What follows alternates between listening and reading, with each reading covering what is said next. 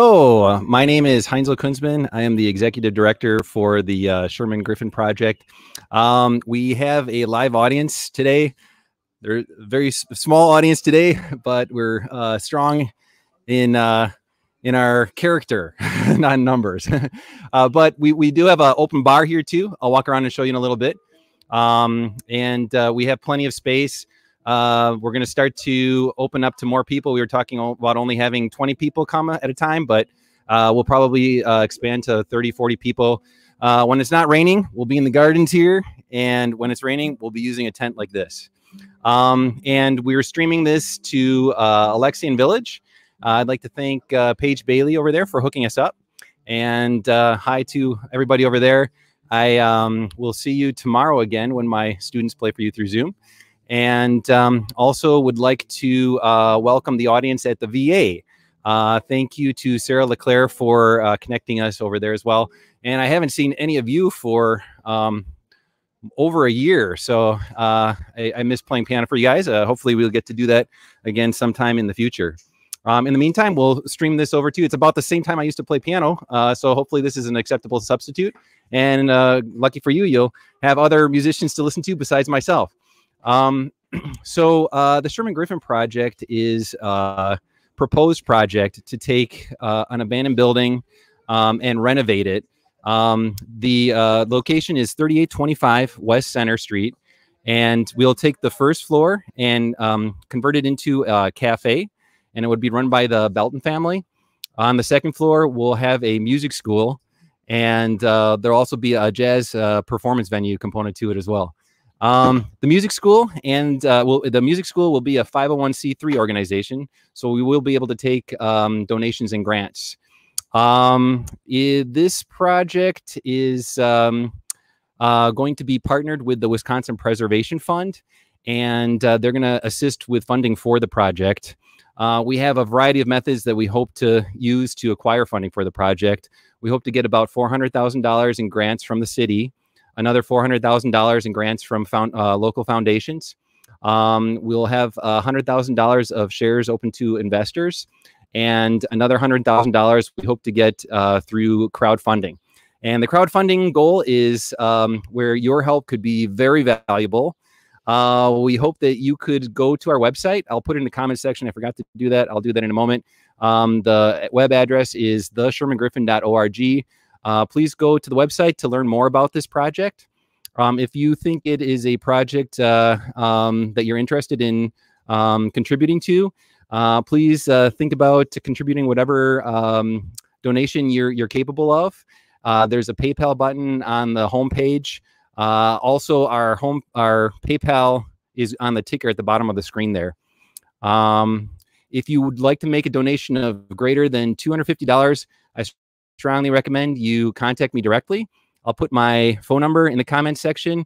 Uh, you can text me. Uh, my home address is everywhere. Uh, you can, if you don't have it, I can, you can text me and then I'll, I'll, give it to you. And then I recommend you mail a check directly to my home. I will then uh, furnish you with a letter of receipt, which would include an EIN number. And you can use the EIN number to write off your donation on your next tax returns.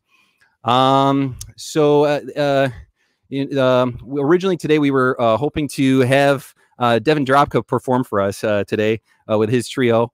Um, he got called away in an emergency. so we um, send our sympathy to Devin. Um, uh, it's unfortunate, but uh, you know it's just the circumstances. However, we have someone equally as talented, equally classy. Um, you're you're we are not going to let you down here. Uh, Marija Temo, she's described as a triple threat. She is widely recognized as a virtuoso classical flamenco guitarist and flamenco vocalist. Um, her performances uh, last year, um, she was a vocal contestant on La Voz US, uh, NBC, uh, and she um, is a composer and arranger uh, for the production of the Flam uh, Flamenco Nutcracker. Um, and uh, she's also had pieces written for her. to, two works for guitar. Um, the two works for guitar were Tango Fantasy and, and Concierto del Fuego. Um, so I might be, uh, hopefully, I'm not uh, mischaracterizing her at all, and uh, I will talk with her in a little bit, and you can hear directly from her. But for for now, let's please welcome uh, Marija Temo.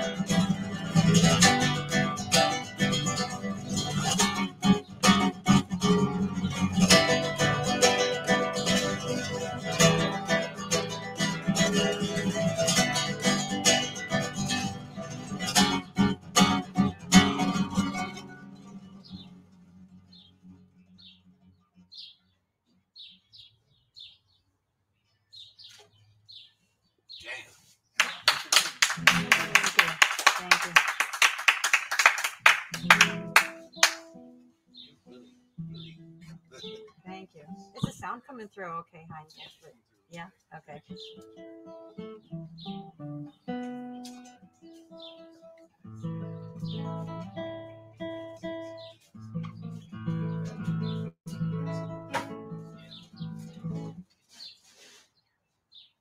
What's your name?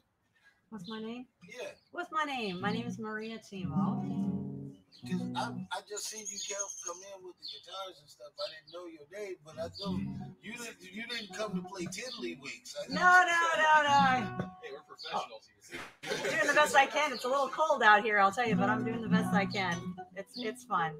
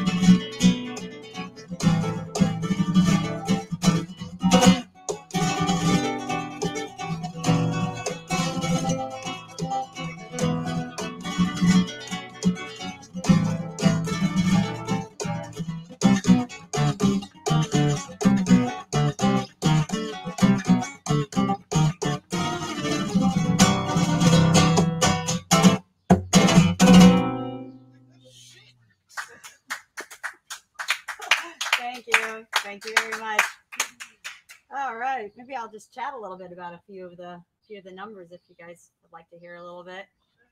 So um I do flamenco and classical guitar and right now I've just give a little gamut of of some flamenco music. It involves a lot of strumming techniques and asymmetrical rhythms, different types of rhythms that are not your normal type of of uh, I should say that you hear on the radio, right? It's so uh, basically, um, you've got 12 count rhythms and uh, you jam on four count rhythms as I well. was- I had the fingers of, of four counts too. Uh, I was gonna ask you. sure, you can ask. Oh, how long have you been playing?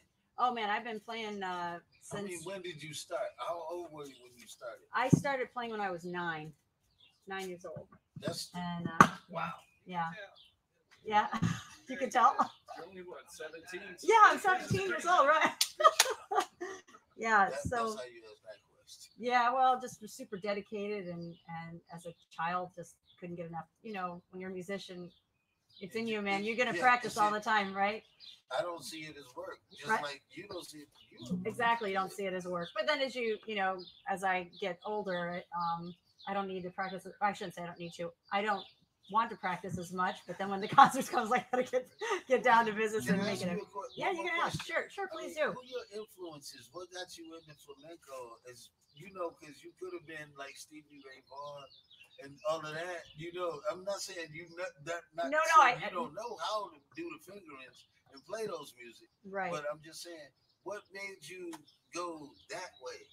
So um i wasn't exposed to that. I was exposed to uh, i probably maybe would have been a you know electric guitar player acoustic who knows? But that wasn't my exposure. I um actually my mom who as a uh, i don't have any spanish background by the way. No spanish blood no whatsoever. So uh but i um i my mom had a, uh, a passion for uh, flamenco actually but she never was an artist of of a, of a musician type of artist. And uh she um it just happened that uh, there was flamenco in our neighborhood in our suburban area of Akron, Ohio. It was a woman who was, um, That's where LeBron's from. yeah, that's right. That's where LeBron James is from. That's right.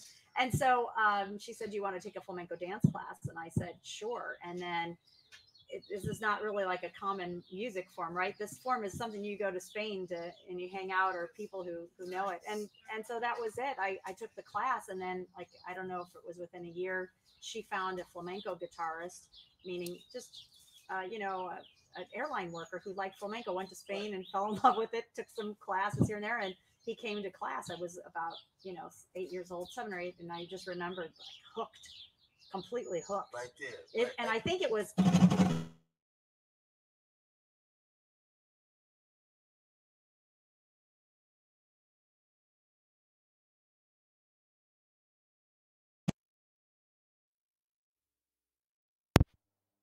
and it was the dance class and was learning the rhythms and all the all the different improvisations and or learning how to.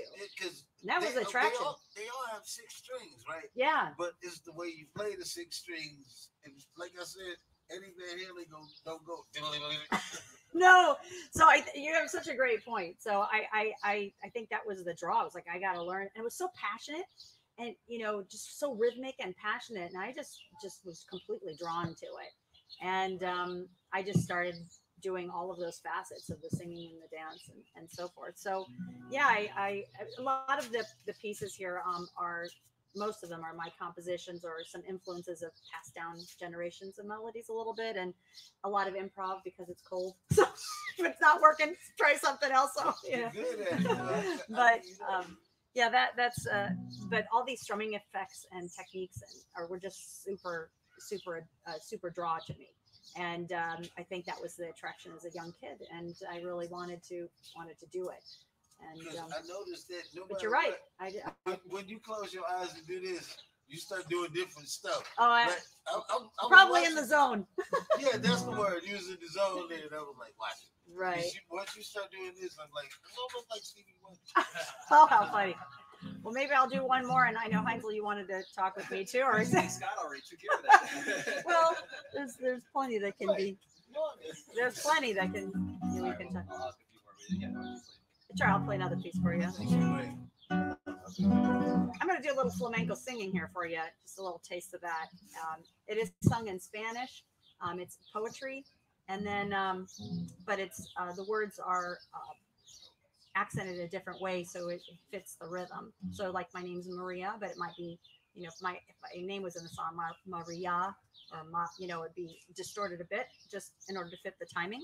But um, I'm going to just play a little bit so you get a taste of what the what the vocals are about. It's it's really fascinating to me. It these um, this art form was created a lot by um, gypsies originally who settled in southern Spain, and they created this art form that, that represents all kinds of emotions from happy to sadness, and so you you know.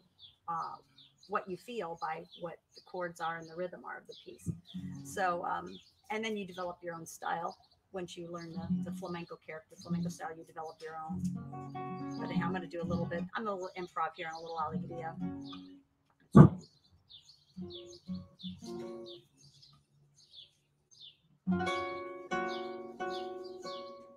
Ay, Thank you.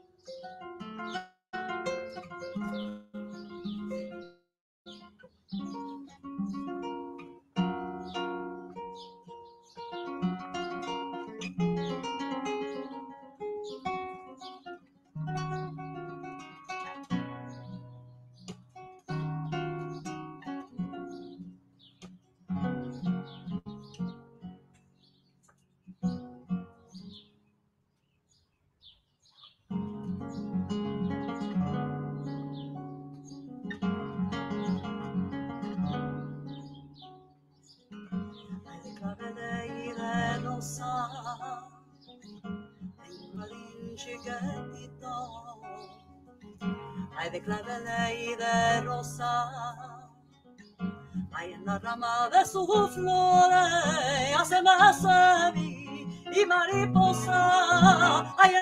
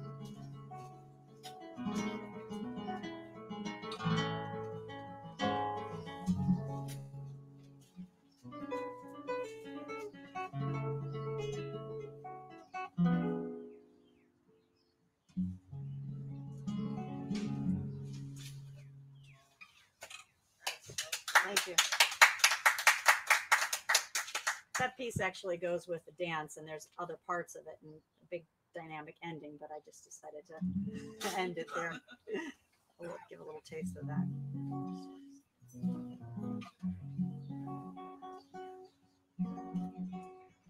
Do quick tuning here.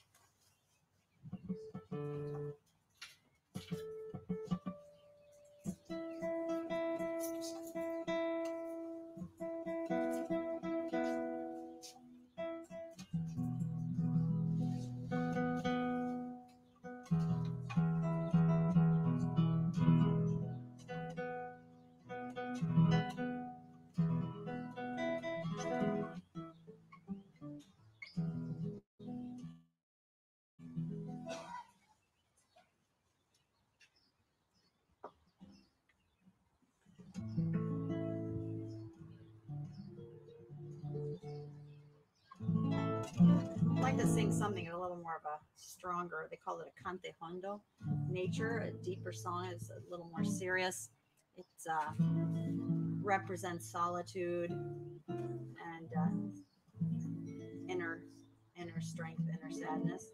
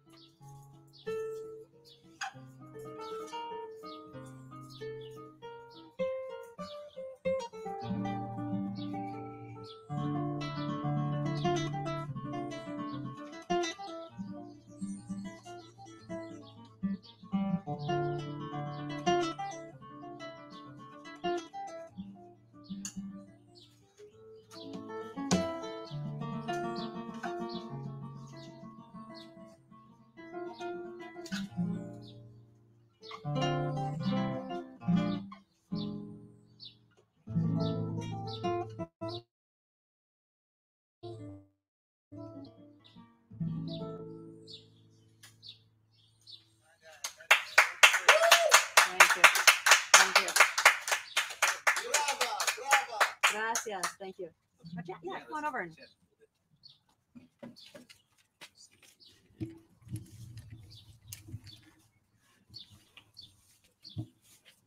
Sound like I'm listening to a record. oh, thank you.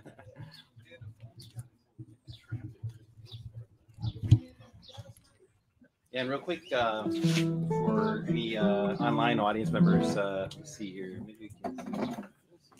Uh, the uh, we're Oh, still working on our technical difficulties. Last week we had a glitch with the sound, and I apologize. And uh, we're gonna have a glitch with the battery charger on this camera over here pretty soon. So that's why I set up the one over here. So when that one goes out, I'll, I'll go over there and I'll unmute the mic over there. Still be going live here, but real quick, and then I wasn't joking. Scott actually asked a lot of questions that uh, uh, you know I thought were uh, pretty interesting. But um, uh, so uh, I did watch your performance on Lavo. La Oh, you did? Am I am I pronouncing it correct? Yeah, Voz? La Voz. Okay. Yeah, it's like the okay. Spanish version version of the voice. The voice, right? Yeah, Yeah. exactly. And it was, I mean, it was just amazing uh, because you're, I mean, you're obviously very passionate about um, what you do, and you even learned. You, you don't have a Hispanic background, No, right? none. But you learned Spanish and you speak Spanish fluently. I, I don't say I speak it fluently. I can get by. I'm conversational. I can, you know, I understand pretty well, but it's definitely not my native language. But Mhm. I've, I've learned along the way. Um, but just, you know, really just a few, a few um, classes in high school and in college a semester. But it really was working with Spanish artists, flamenco artists that couldn't speak English that I was forced to to try to speak it.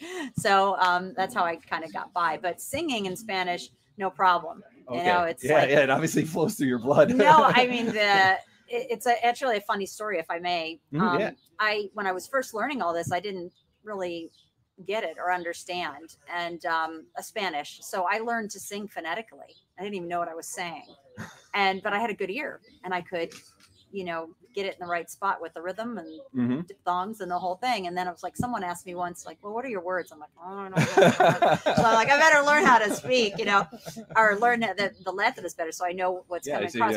But a lot of times the, the verses though, they a lot of times they don't make sense in the sense of how we think because it's poetry, right? So I'm. Like, I don't know what that means, but I'll sing it with a lot of passion.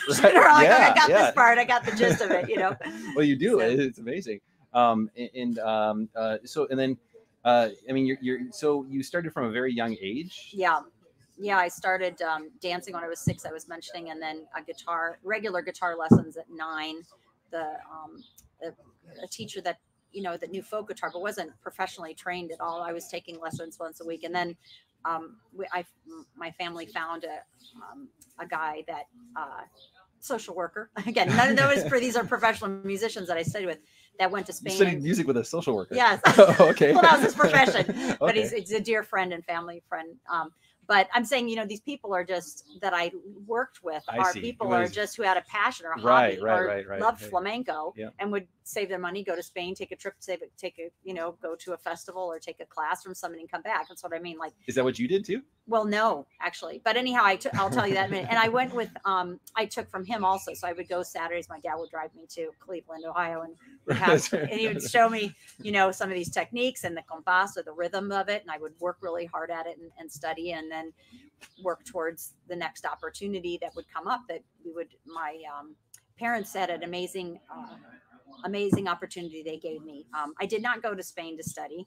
Um, I learned everything from people who would show me something here and there, and then from recordings. That was my main source. I studied recordings like mad and learned to figure it out and imitate it. And then when I had a chance, take a master class here, or Mhm, someone mhm. would come through. But this is a very um, uh, this art form back in the day. I mean, it's it's a very private art form, and it and outsiders weren't really invited. Right? It was a closed niche I see. kind of uh, it is a closed niche, but it's become so well known now. People Yeah, I mean, it's obviously very study. intimate and uh, Yeah, but it was you had to be invited into the group to be watching flamenco or be a part of that. It was I very see. close knit, and so it was really hard back in the 70s and 80s to find anything at Mhm. flamenco. People had anthologies or something they or pirate recording our festival and bring it back. So, So, and so now it's not like get- today, like YouTube. And, right, you YouTube know, exactly. We, we have everything on our fingertips, but I was like the stop rewind, stop rewind on the cassette. Wow. someone would get, yeah.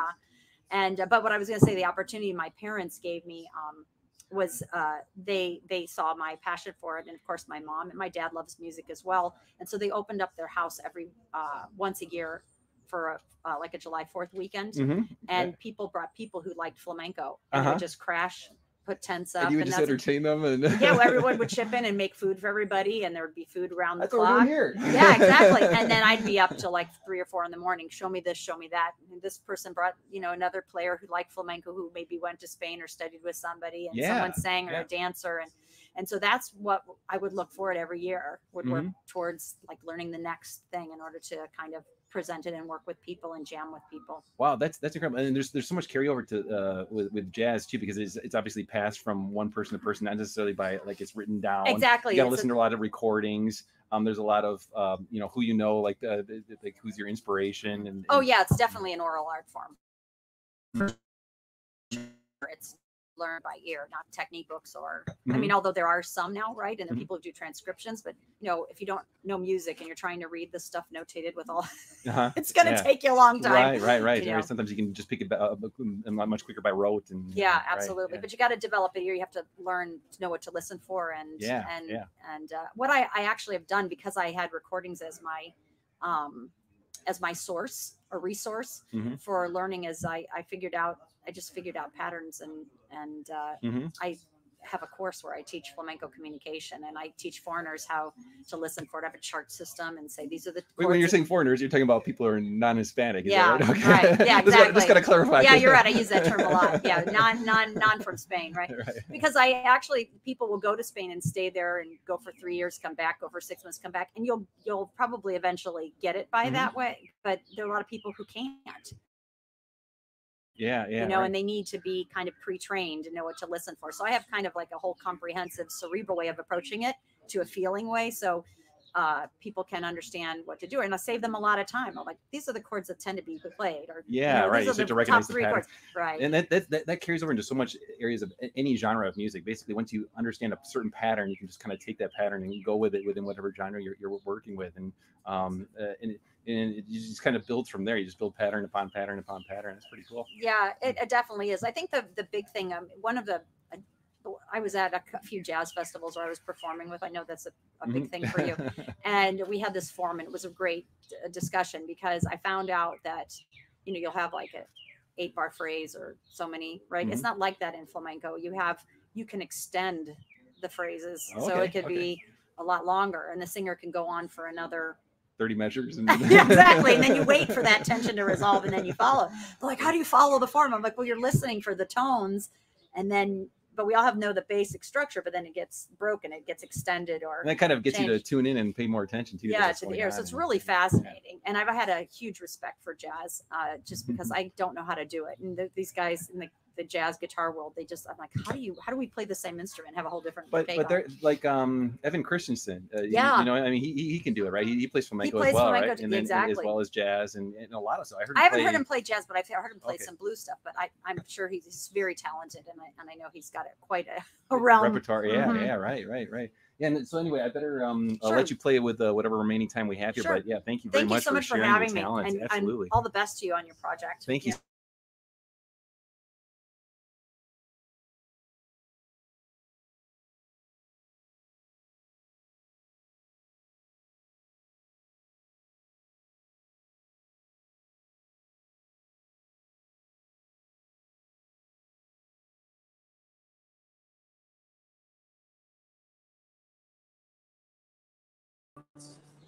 This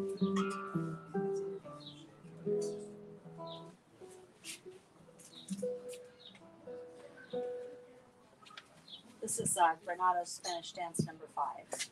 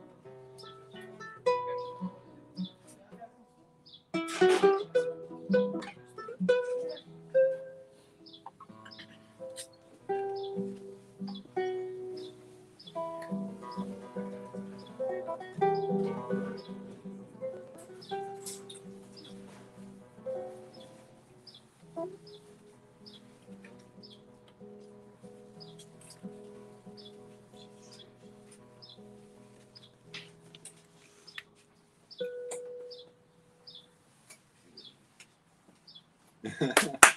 Yeah, open eyes, right?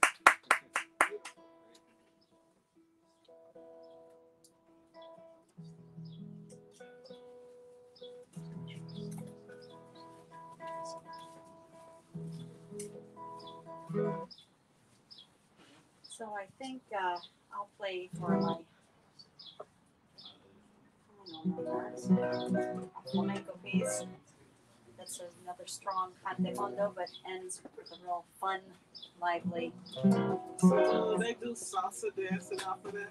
No salsa and flamenco. They do rumbas, which uh, off me a little bit, but, uh, but uh, this was a more of a tango. This will have a, a little bit more of a feel of that four count, but not quite. Different, different area. But you sound like it.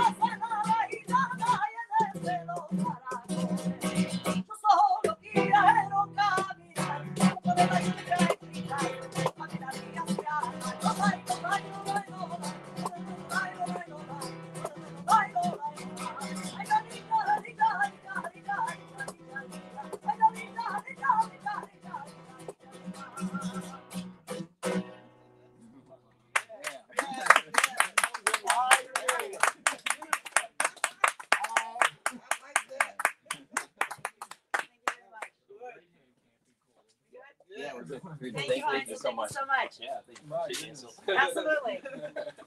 My pleasure. Awesome. All right, thank you so much. Um, so that was incredible. That was really a lot of fun. I hope all of you at the VA uh, got to enjoy it and Huh? over at Alexian Village. Alexian Village. Oh, we got we got a vet, a vet right here. we got uh, Scott Summer. He, he served in Iraq One, right? Yeah, So uh, there's a storm. Um, but uh, we'll, we'll be doing these every Saturday, or most Saturdays, I should say, throughout the summer. So if you really enjoyed the music tonight, uh, Tom, Johnson last week, he was so funny, and I'm really sorry about this but it was so much fun. We had a blast. We'll have more meetings in the future too. Um, so uh, we don't have an event next Saturday, which is the uh, let's see, 22nd. Yep, 22nd. No event uh, that day. But then the 29th, we'll have Latin Jazz. Uh, so uh, you can it'll be at the same time. They'll all be on Saturdays at 5:30. Um, most Saturdays throughout the summer. So we have three uh, events right now. Wait, tell him I'm coming up. Scott Summers, he'll be he'll be he'll be on June 12th. He's in our audience right now. um, so Latin Jazz, the 20th. I can actually remember the whole, the whole calendar. We got uh, uh, Ann Davis on, on June 5th. Uh, Scott Summers June 12th, and then June 19th. Mark Davis, he confirmed he wants to. He hasn't said like give me information or yet, but he said yes, he wants to come. Uh, we'll have a double header that day on the 19th. Uh, he'll be here at four from 4:30 to 5:30, and then from 5:30 to 6:30 it'll be Aaron Aaron Crook. Uh, and then we're- we're already getting our July schedule worked. Um, please go to uh, our website to understand our project more, uh, and then think about if how you might be able to contribute to this project. It, it's pretty big and it's involving a lot of people, and we need a lot of people to, to get it to, to work. So, uh, thank you very much, and uh, I'll see you on the 29th. The 29th. Cool. Bye, y'all.